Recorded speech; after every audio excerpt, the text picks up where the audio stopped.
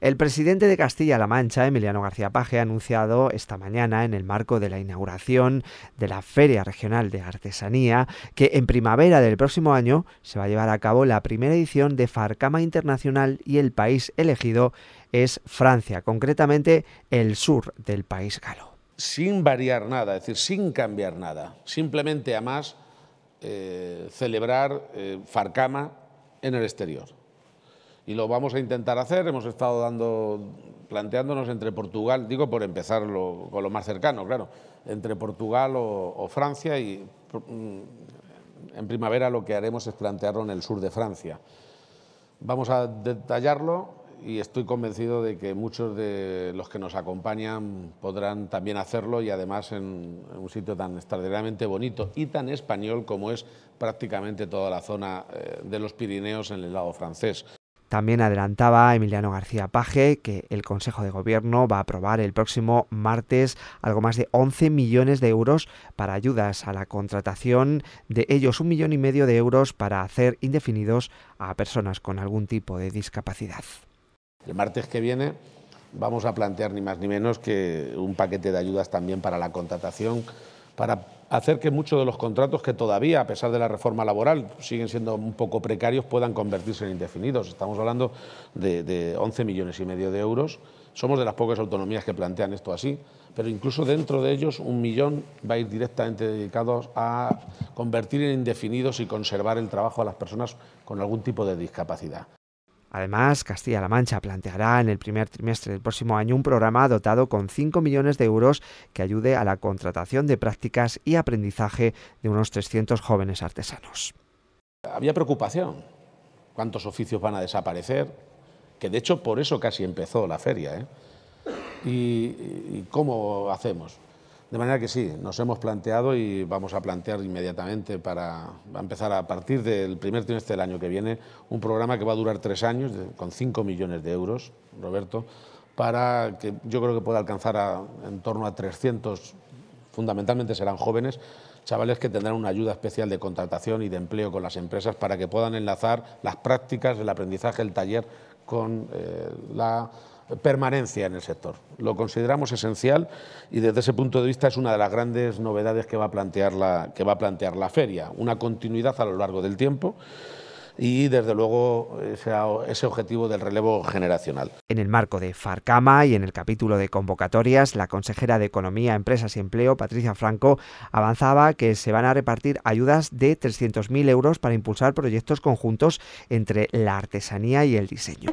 Una nueva convocatoria que vincula el diseño y la artesanía de manera que diseñadores y artesanos podáis trabajar de la mano nuevos proyectos, nuevas iniciativas, no solo en cuanto al prototipo del producto que queremos vender, y, dar a conocer, sino también en cuanto a herramientas de marketing, de packaging, de comercialización, una convocatoria muy amplia que va a permitir trabajar diseño y artesanía de la mano, en la que muchos y muchas estáis empeñados y que nosotros como Gobierno regional volvemos a recoger nuevamente el guante del sector. También habrá mm, participación para asociaciones que quieran trabajar lo que se llama la doble firma y sobre todo impregnar toda la actividad artesana de esa doble firma necesaria entre diseño y artesanía. Las ayudas eh, van a llegar hasta el 80% y hasta 8.000 euros de ayuda por artesano, proyecto de artesano y diseñador. Y vamos a salir con 300.000 euros porque es una convocatoria piloto, pero ya tenéis el compromiso de todo el Gobierno, hoy además que está aquí nuestro presidente, seguro que lo corrobora. Por su parte, la alcaldesa de Toledo recordaba que en breve se va a llevar a cabo en Toledo el Centro de Artesanía. Con ese Toledo Creativa lo que vamos a destinar son casi 4 millones de euros, una parte importante, hacer aquí en la ciudad de Toledo, junto con la Junta de Comunidades y con la Real Fundación, ese centro de formación de la artesanía, donde lo que queremos es la especialidad, queremos sobre todo que la artesanía se convierta en el punto de mira de la formación y también, como no, de algo tan importante como es de la excelencia. Se ha recordado durante la inauguración de Farcama que se va a conceder la medalla al mérito artesano al ceramista conquense Fernando Alcalde y además las cinco placas al mérito artesano que van a recaer en los ceramistas Francisco Agudo y Tomás Bustamante. Ha llegado la hora. Es el momento de abrir Farcama Sí, bueno, nada, a ver qué tal, si se da como el año pasado.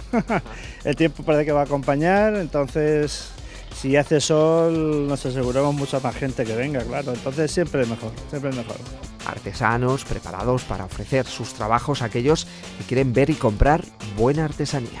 Pues aquí podemos encontrar la navaja clásica baceteña, que es lo nuestro, y luego pues algo más deportivo y cuchillo de algún cuchillo de cocina que también que también lo demanda mucho. De la Roda, de la Roda del Bacete, somos de allí. Somos, somos, somos alfareros de tradición, la séptima generación, mis abuelos, tatarabuelos, y siempre hemos hecho cerámica tradicional y ahora hacemos más modelado y cosas de esas. Entonces hacemos un poco de todo, cerámica tradicional y algo más de modelado, cultura. Con ilusión y con ganas de trabajar llegan en esta nueva edición. Sobre todo el movimiento ya es eh, vistas al futuro, ¿no? Tenemos ganas de, de, que la gente vea, de que vuelvan a tomar contacto con la artesanía y esto es una oportunidad desde luego.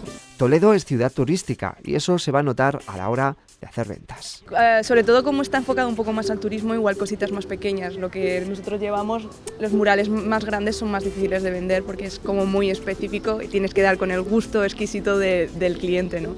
Entonces, bueno, pues siempre un detalle o los belenes, en, en esos casos la gente siempre busca ese tipo de cosas, ¿no? Una feria que este año se internacionaliza con la participación de artesanos de México, Puerto Rico, Portugal y Francia.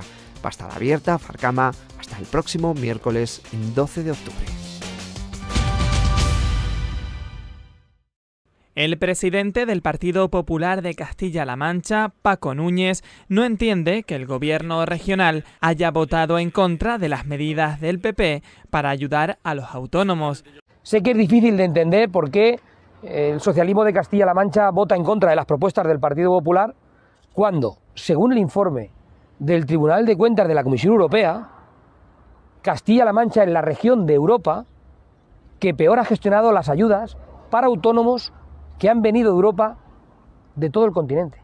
Entre las propuestas del Partido Popular destacan extender la tarifa plana a los autónomos con dos años de ayudas a nivel autonómico, aminorar los criterios para obtener una ayuda en el trabajo autónomo, siendo menos exigente la orden de concesión de ayudas o reducir claramente la burocracia en Castilla-La Mancha. En definitiva, un paquete de ayudas autónomos directas que lo que permiten es que haya más empleo autónomo que lo que nos permiten es captar autónomos de otras comunidades a Castilla-La Mancha, que lo que nos permiten es dotar de segundas oportunidades a los autónomos que como consecuencia del COVID tuvieron que cesar su actividad y que lo que en definitiva hacen es apostar por el autónomo, por esos 155.000 autónomos que hay hoy en Castilla-La Mancha, por los que tienen que incorporarse al trabajo autónomo en Castilla-La Mancha y por los que como consecuencia del COVID perdieron su puesto de trabajo y ahora lo quieren recuperar. El presidente del PP ha recordado que estas medidas están funcionando en otras regiones como Andalucía, por lo que adaptadas a Castilla-La Mancha pueden hacer que la región pase de estar a la cola en creación de trabajo autónomo a competir con Andalucía, Madrid o Cataluña por las primeras posiciones.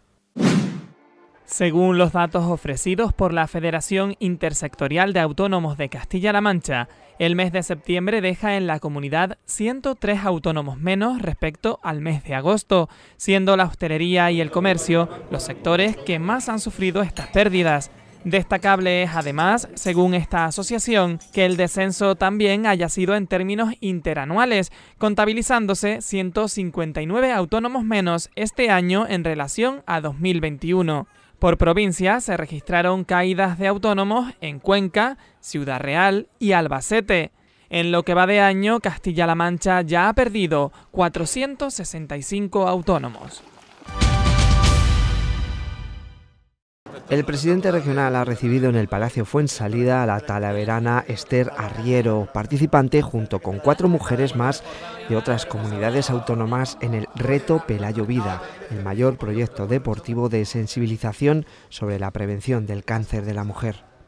Que dejar claro que este tipo de eventos, de acontecimientos, que este, está teniendo mucha trascendencia mediática, yo creo que ha tenido un público de hasta 44 millones de personas siguiendo el reto de una u otra manera, es poner en primer nivel esto que decimos, ¿no? que existe el cáncer de mama, que es necesario investigar, que es necesario prevenir, que hay personas, mujeres, afectadas, pero que hay mucha supervivencia y que hay esperanza y que se puede pelear y se puede luchar y si se fijan, te fijas retos en la vida, lógicamente el camino, aunque difícil, es más posible, es más plausible. ¿no? Yo creo que es el gran mensaje que lanza el reto Pelayo Vida. Blanca Fernández ha puesto de manifiesto la apuesta del gobierno regional, ya que permite, por ejemplo, disponer de tratamientos menos agresivos y que dan más esperanza y mejor calidad de vida. Si echamos un poquito la vista atrás al año pasado, aquí en Castilla-La Mancha, en materia de prevención, hemos realizado 120.000 mamografías, lo que supone es que más del 80% de las mujeres a las que hemos llamado para que se hagan su prueba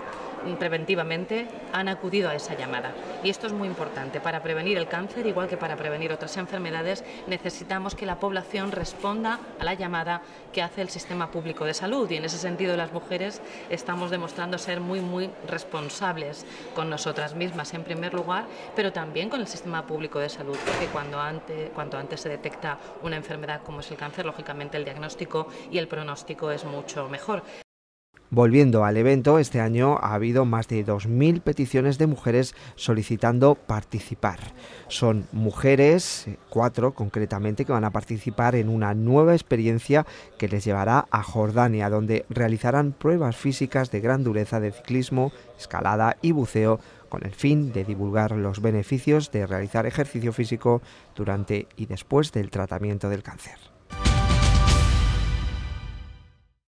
El 13 de octubre se publicará la oferta de plazas de la OPE 2017-2018 del Servicio de Salud de Castilla-La Mancha, que va a permitir estabilizar en plantilla a los especialistas en medicina familiar y comunitaria que superaron las pruebas celebradas hace escasamente un año. Se van a ofertar el 100% de las plazas convocadas, un total de 258, independientemente del número de aspirantes aprobados. Ese mismo día se publicará también la oferta de plazas de la especialidad de psiquiatría para que los aspirantes que aprobaron puedan optar, según el orden de puntuación obtenida, a las 28 plazas incluidas en esta oferta.